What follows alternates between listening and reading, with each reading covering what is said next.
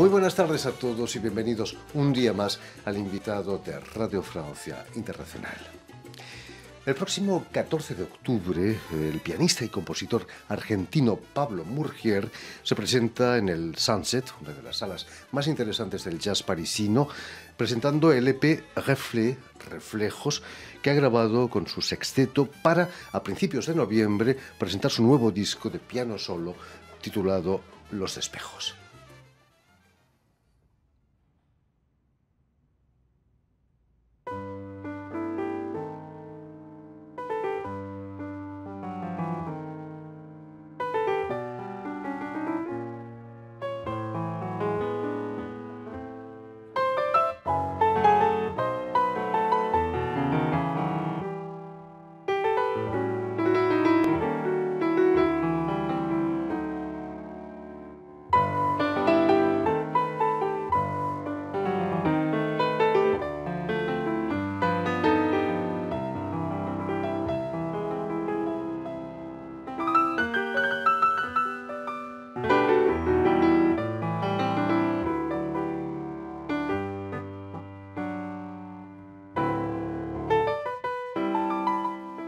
Y precisamente para hablarnos de estas nuevas grabaciones y de su intensa actividad de conciertos, Pablo Murgier ha sido tan amable de, venir a nuestros estudios. Muy buenas tardes. Buenas tardes. Y sobre todo, muchas gracias por haber hecho el esfuerzo de, venir. gracias por la invitación. Eh, permíteme, Pablo, que explique antes que nada que has nacido en la localidad argentina de La Plata en 1988 y que me contabas que, que el piano fue uno de tus primeros juguetes. No está mal la talla del juguete. ¿eh? Sí, un gran juguete. Eh, como para muchos músicos que inician cuando son niños, eh, ese primer impulso es que hay a mano en la casa una guitarra, un piano, un instrumento heredado de algún abuelo, ¿no? Eh, y fue exactamente mi caso, una tía abuela mía, que era la profesora de piano en la ciudad de Necochea. nos envió un piano a La Plata y mi madre empezó a tomar cursos, pero yo me apropié del piano, pobre.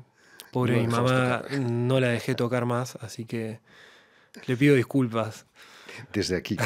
Eh, esa manera lúdica de acercarte al piano quizás ha marcado de alguna manera tu carrera. Sí, absolutamente, porque creo que ese, digamos, el primer approach que tenemos a un instrumento se convierte en una especie de lengua materna que, hablamos cuando hacemos y cuando pensamos música.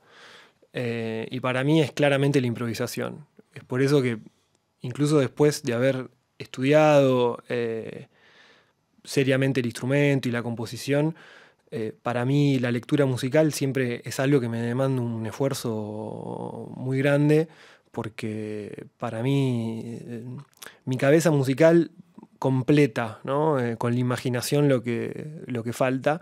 Y creo que es exactamente el caso inverso para la gente que tiene una formación académica de base, que la improvisación es algo que lo supera y los excede totalmente, ¿no? Eh, siempre envidiamos lo que tiene el otro en algún punto y bueno, hacemos esfuerzos para ir tapando agujeros de la, de la mejor manera que podamos. Aunque el solfeo ha sido y sigue siendo una tortura para muchos niños, ¿no? Eh, ¿Te acuerdas cuando empiezas a estudiar solfeo, a leer las notas? Sí, bueno, yo en realidad eh, me negué a eso. No me extraña. Porque no solamente le robé el piano a mi madre, sino que le robé el profesor también. Y este profesor, yo tendría cinco años, eh, era un profesor que me quería preparar para entrar a Bellas Artes, que es la escuela artística en la ciudad de La Plata que depende de la universidad. Y para eso habría, había que leer y yo no quería saber nada. Y, bueno, él eh, verdaderamente lo manejó muy bien porque me llevó por el lugar del interés. Me acuerdo que componíamos canciones, jugábamos, era, era un espacio lúdico y siempre me pregunté qué es lo que hubiera sido si, si, si él se hubiera puesto firme en esa posición. Probablemente hubiera dejado. Eh, es muy posible. Creo que hay momentos en los que podemos estudiar ciertas cosas. Eh, hoy estoy preparado, digamos, para, para poder enfrentar eh, un estudio pianístico que me demanda mucho esfuerzo, pero cuando era un niño probablemente no. Vienes a Francia hace tres años, quizás porque en este país no se toca el piano, se, se juega el piano, on joue le piano, se dice en Sí, bueno, eso que sucede con el francés, que es igual que en el inglés. Eh, play de piano. Sí, me, me, me, parece muy ilustrativo, muy poderoso, ¿no? De, habla mucho de, de, de, la manera de relacionarse con la acción que uno está haciendo justamente cuando, cuando tocas. Eh, que en español es un poco más triste, ¿no? es, es, es un poco Tocar. más técnico. Has estudiado con pianistas de folclore, eh, de música argentina también, pero para tocar tango, por ejemplo, eh, hace falta una técnica sólida, ¿no? Sí, eh, el piano tango es muy exigente. es realmente. Es por eso que hay grandes pianistas de tango. Creo que el tango es un género que cuando te metes adentro te hace verdaderamente, te obliga, si uno quiere progresar en el género, tenés que progresar en el instrumento también. Y, y, es muy demandante. Hay que estar realmente ahí. Yo llegué un poco de casualidad al tango. Siempre me había gustado el tango, pero empecé simplemente como un trabajo, acompañando cantores y cantoras en Buenos Aires y luego eh, me fueron saliendo oportunidades laborales un poco más serias y ahí fue que me tuve que realmente sentar a estudiar verdaderamente el instrumento y el género, las dos cosas, no solamente una de ellas. Pablo, al mismo tiempo eres compositor, eh, arreglista también. También hace falta una sólido, un sólido conocimiento de, de, la teoría musical, ¿no? Sí y no. Yo creo que um, hay grandes compositores que, que no saben escribir música, por ejemplo, y no saben leer. Eso, um, para mí, el gran problema de la composición es algo que tiene que ver más con lo estético, ¿no? con, qué es lo que quiero decir en, este, en, en la marmita ¿no? de la composición, eh, cuánto de cada cosa voy a agarrar. Ahí está el verdadero problema de la composición para que lo que tiene que ocurrir con una composición, que es que un mensaje llegue a la persona que lo va a escuchar de manera clara, eh, suceda. Eh, hay mucha gente que no escribe y logra eso, y hay gente que escribe y no lo logra. Después es una cuestión de gusto, por supuesto. La alquimia del compositor. La alquimia del compositor. Terrible. Eh, tu trabajo de músico de tango, de compositor de tango, consiste en desempolvar un, un ambiente un poquito viejo. Sí, bueno, eh, mi vida laboral está muy ligada al tango, eh, sobre todo al tango bailable, con un grupo que se llama Los Milonguitas. Y en ese grupo que comparto con eh, Simone Tolomeo, un italiano bandoneonista, y Sebastián Noya, argentino que vive en Berna, en Suiza. Tratamos de, no aburrirnos, porque ese es nuestro peor temor. Entonces, eh, tratamos de hacer composiciones nuestras que suenen o que eh, hablen de lo que la gente está acostumbrada a escuchar en una milonga, que a nosotros nos gusta, ¿no? Eh, esos estilos del tango que nos interesan. Hay otros que, que Ese no nos interesan los, tanto. Los milonguitas suena a hombre de las cavernas, ¿no? Como los trogloditas. Lo... Sí, empezó un poco como un chiste, después quedó, ¿no? Hay que tener mucho cuidado con los uh -huh. chistes. Cuéntanos, ¿qué, ¿qué, relación tienes con el folclore? ¿Se escuchaba folclore en tu casa, por ejemplo? Sí, se escuchaba folclore. Eh, se escuchaba mucha música uruguaya también, eh, pero se escuchaba mucho folclore, Mercedes Sosa, los hermanos Carabajal, los hermanos Ábalos. Hemos tenido a Peteco Carabajal aquí con sí, nosotros. Sí, señor, el gran Peteco. Eh, y bueno, es una música que está en el imaginario desde que soy un niño, al igual que el rock, eh, al igual que el jazz, ¿no? Eh, creo que yo soy de una generación en la cual hay, hay, hay muchas matrices musicales que, que, están como operando al mismo tiempo. Pero bueno, eh, al, tener una clara inclinación cuando terminé mis estudios de composición hacia la música argentina, eh, hubo ahí eh, una experiencia que tuve eh, con Hilda Herrera, que es la gran pianista del folclore argentino y la gran docente de, del piano argentino, que, realmente el, legado que, hay detrás de ella es inconmensurable, no, no, no, no, todavía no nos damos cuenta, creo.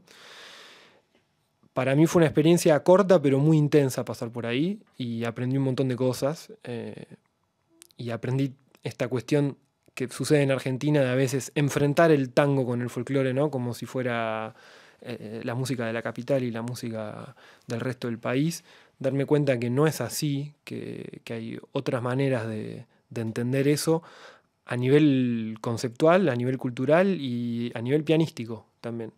Y bueno, bajar esa información al piano fue, fue un proceso muy lindo que disfruté muchísimo y que, y que sigo haciendo y que trato de ejercer todos los días. Hablando de docencia, es una de las facetas obligatorias de un músico, transmitir lo aprendido a, las nuevas generaciones. Tú lo has hecho, además. Intento, sí. Eh, en Argentina daba muchas clases, en muchas instituciones distintas.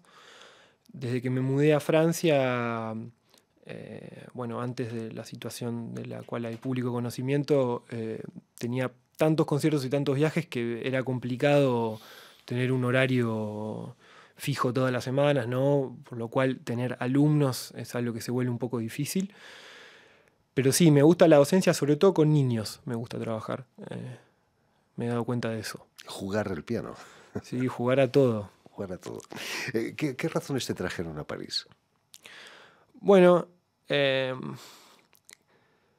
tenía ganas de hacer una experiencia, para empezar, en un momento en el que me lo podía permitir, porque tenía oportunidades laborales en Europa. Después podría haber sido París u otro sitio. Ahí hubo una cuestión de, un deseo ¿no? y, de que las cosas se fueron dando de esa manera. En Argentina estaba viviendo una situación muy expulsiva en ese momento con el gobierno de Mauricio Macri, que había dejado un año de pagar los salarios a los trabajadores de la cultura. Y, bueno, todo se fue dando de manera tal en la que en la que en Argentina se iban cerrando puertas y en Europa se iban abriendo. Eh, y vine como sin saber qué es lo que iba a suceder y, ahora estoy muy instalado acá y muy contento eh, en todos los sentidos. Así que sí. ¿Te esperabas que dos años después eh, un bichito acabara con todos los conciertos, cerraba los museos? No, jamás, no. ¿Cómo viviste eh, esos, esos, tiempos? Y es muy difícil, es muy difícil porque mm, eh, hay toda una parte del trabajo de los músicos, que, o de los músicos independientes sobre todo, que es eh, organizar conciertos, que es algo que lleva mucho tiempo y mucho esfuerzo, y ver cómo ese trabajo se desmorona delante de tus ojos y todos los días recibir un correo donde desafortunadamente hay que cancelar un festival, un concierto, es algo doloroso eh, y, bueno, uno trata de, seguir haciendo cosas que te hagan bien, pero también estamos todos muy desorientados y es una situación que, que desafortunadamente continúa. Entonces, bueno, estamos viendo cómo hacer ese concierto del 14 de octubre con tu sexteto es una maravilla. que no, se suspenda, por favor. No, en principio no. Habrá quizás un aforo más eh, limitado. Sí, eh, bueno, yo fui al Sunset la semana pasada a ver eh, a Minino Garay, que va a tocar con nosotros el 14 de octubre. Fantástico. Va a ser el baterista. Va a ser la, primera vez que vamos a, tocar juntos con Minino. Y había mucha gente, por supuesto, todos con, con máscara, con barbijo si digo máscara, mis amigos argentinos eh, me van a hacer bullying después, por eso digo barbijo también. Eh, pero fue un momento muy agradable. Eh, es un poco molesto, pero no impidió que pudiéramos disfrutar del concierto, en absoluto. Ahí vas a presentar tu EP, Le Reflet, Los Reflejos, y en noviembre me decías que presentas tu disco en solitario. Sí, se me juntaron esos dos discos. Esos títulos no son un poquito narcisistas, eh, el espejo, el reflejo. No hay un cierto narcisismo allí. Sí, sí, seguro. Todos los artistas somos un poco narcisistas, algunos mucho, otros menos, no sé. Eh, a mí me gustaba jugar esa imagen lo primero que me surgió fue el nombre de los espejos, que, en realidad no fue una propuesta mía, fue la chica que hizo la tapa del álbum de piano solo, que es Estefanía Santiago, que es una eh, artista gráfica y cineasta eh, entrerriana que vive en Madrid y que a mí me gusta mucho su trabajo y, ella en su momento yo le encargué una foto para, para, la portada y ella me dijo, dame un nombre y yo no tenía un nombre, entonces ella me, me, fue llevando, hicimos un poquito una tormenta de ideas y el nombre de los espejos me gustaba porque eh, sí, es como que cada una de las composiciones es eh, la imagen que se ve reflejada, que no es lo mismo, ¿no? Que, no es la realidad, sino es eh, justamente el reflejo de otra cosa. Y al mismo tiempo estábamos por grabar este EP con, el, con mi grupo, con mi ensamble, y, y me gustaba esta idea de que dos discos que fueron en un mismo momento sean dos cosas separadas, pero que integran un poco un momento, ¿no? Entonces, esa fue la idea de, bueno, de ponerle reflexiones, ¿no? Como. Eh, en, noviembre lo presentas en una sala que se llama Los Pianos, ¿no? Es un lujo también. Sí, Le Piano de Montreuil, eh, el 11 de noviembre. Eh, es un muy lindo lugar Cuesta que la gente vaya porque hay que salir de París, pero... Está justo al lado de París. Sí, es lo que yo digo siempre, pero la gente dice, ah, línea 9. Eh, es un muy lindo lugar que tiene un super piano, que eh, tengo entendido que era una vieja casa donde hacían lutería de pianos, entonces entras y hay pianos por todos lados y máquinas colgadas. Así que sí, eh, los espero tanto el 14 para ver eh, el ensamble, el 14 de octubre, como el 11 de noviembre para la presentación del disco de piano solo, que, que iba a ser normalmente en marzo, eh, pero se suspendió y bueno, como tantas otras cosas. Tiene el mérito de existir la fecha. Tiene el mérito, el gran mérito de existir, exactamente. Eh, pues ya lo saben, tienen dos citas con, con, Pablo, Pablo Murgier, el pianista argentino, afincado ya desde hace tres años aquí en París. Muchísimas gracias, Pablo. Por Muchísimas gracias a vos por la invitación y el espacio. Permíteme también que dé las gracias a Julián Lenk y a Estefan Defossé, quienes se han ocupado hoy de la realización del programa, y eh, también enviar un saludo muy especial a todos nuestros telespectadores que nos en toda América Latina gracias a una cadena internacional de televisión uruguaya que se llama Canal U y emite desde Montevideo, ahí en Uruguay. Vamos arriba. Y a ustedes muchísimas gracias por su atención y les damos cita para una nueva edición de El invitado de Radio Francia Internacional.